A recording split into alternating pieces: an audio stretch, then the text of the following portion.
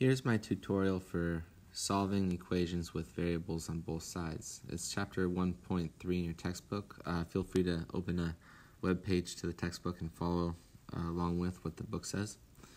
But uh, we'll take notes on this. First off, um, in order to solve equations with variables on both sides, first, number one thing, use inverse operations uh, until the variable is only on one side. So you're really concentrated on the terms with the variable in it. Example, I have 4x plus 8 equals 3x plus 17. I wanted to get rid of the um, variable on one side, so I have 3x. Uh, my suggestion is to start with the variable with the lowest co coefficient. Uh, 3 is lower than 4, so I'm going to subtract 3x from both sides. I get uh, 3x minus 3x goes to 0, and I did remove that term then, so I only have 1x plus 8 equals 17. Now, I can solve it like a one-step uh, equation, or a two-step equation later on, for some.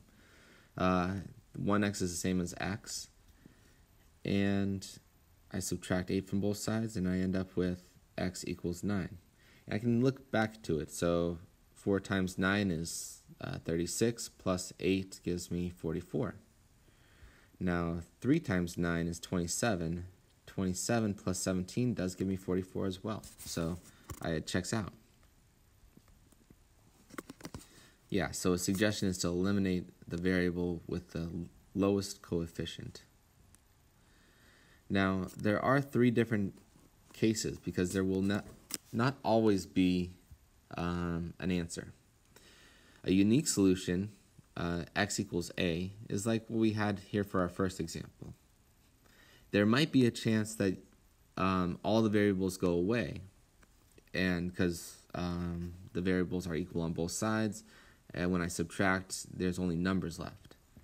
If you have something that looks like a equals b, so a number equals a different number, uh, in that case, that's false, uh, you could say, but uh, the answer is no solution.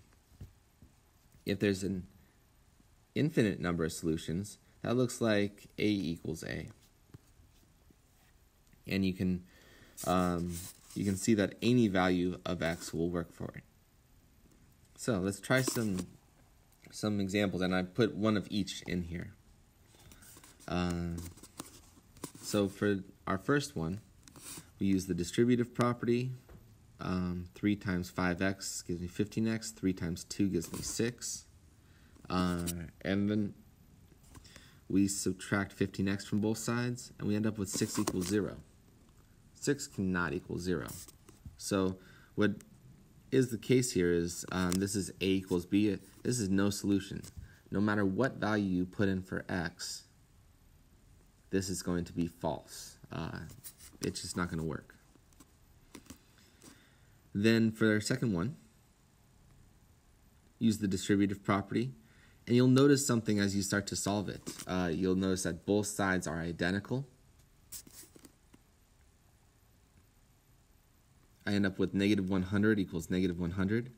That's an A equals A. That's a infinite number of solutions. Uh, whatever value, no matter negative, positive, uh, you put in there, you're going to end up with it being true. One side is going to be equal to the other. Now, our third one, um, so we start to solve. We try to get our variables to one side. Our lowest coefficient is 2x. I'm going to subtract 2x from both sides. I'm going to end up with x minus 4 equals 1. Add 4. End up with x equals 5. This is a unique solution, but you just notice how what I boxed was what x equals. These are special cases, um, and this unique solution, you just put the um, answer as x equals 5. For no solution, you have to show that you're getting a number equaling something different, and for uh, infinite solutions, you need to show that you end up with the same thing on both sides. Okay. here's an example. You can see the answer over here, but um, I'm walking through. I do combining like terms. Oh, this doesn't even have variables on both sides. Hmm.